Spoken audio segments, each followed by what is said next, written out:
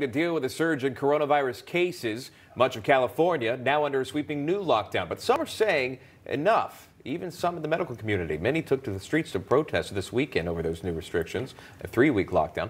Joining us now to break it all down is John Strand. He's a communications director with America's Frontline Doctors, as well as our panelists, Joe and Victoria. Good to see all of you here. John, I'll start with you on this. We're seeing the cases spike across the country, but it's also happening in cities and states that are still affected by the lockdowns. How would these lockdowns continue to help or harm us?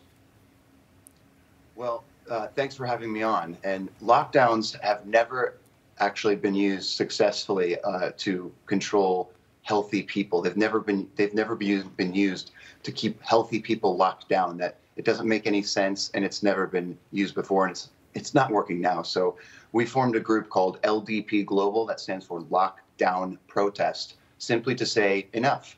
We're human beings, and we've been designed to be alive and to live, to walk, to breathe, to work, and that's what we're going to do. John, talk to me about your profession. What, are, what is your expertise? So I'm actually based here in Los Angeles. I'm a model and actor in the Hollywood community. And uh, at the beginning of this year, I just decided that someone in this area needed to start speaking common truth and standing up for the rights of the people, whether that was considered popular or scientific or not. So I'm the communications director for LDP Global, uh, not for America's Frontline Doctors, but we are co-founded by Dr. Gold from AFLDS. Okay. And so uh, it, our, our message is very simple. We want to take the politics out of it.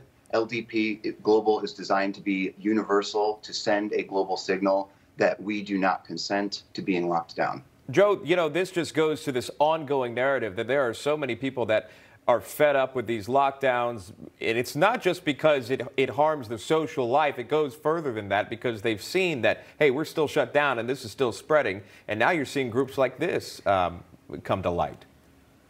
Yeah, well, exactly. I think it's pretty uh, clear that the conduct of government officials, particularly in California, New Jersey, and New York, and Michigan, have been irrational.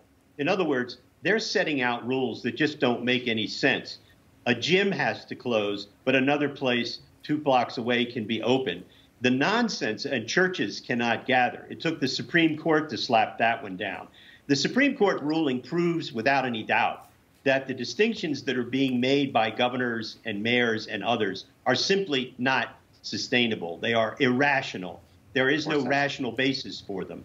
And, and, and right. in addition, they're illegal. It's the legislatures and legislative bodies in these states and cities that are allowed to make laws. These governors can't do that. They can't say, okay, That's I'm right. going to make a yellow zone and an orange zone, and you have to, you can't even be open in the orange zone. They can't do that. They don't have the authority. So, hurrah for all these Americans that are out there protesting. Eh, because, well, that yeah, let's talk about that. Because even in New York City, I'll point out this: I'm walking down the street, I see a restaurant. They can't operate inside um, to a certain capacity but they created an outdoor space that is included, enclosed rather, outside on the street. So you can't go in the building there because that has COVID, but you can go inside this little mini building that they've built outside the restaurant everybody walking by. There's no way, it just does not make any sense. Then you see these protest groups. Um, John, I'll bring you into that. LDP that you said you started, how many people are a part of it? And if they wanted to be a part of it, how can they do so? Where can they, um, where can they sign up essentially? Exactly. Please go to the website. It is ldpglobal.org. LDP stands for Lockdown Protest. So ldpglobal.org sign up, join the movement. This is universal. It is not political. This is humans coming together to say, we do not consent. We will not be locked down. We are free human beings, and, and that's what we're going. It's power to the people, is what it is. Right. It's we, the people, saying we are taking our power back. And that's that's it. That's the end of the exercising story. your First Amendment rights there. That's exactly what it is, and a lot of folks uh, want to be on board with that. Um, I'm out of time here. John Strand, good to see you, and thanks for your time. Joe Victoria, please stick around.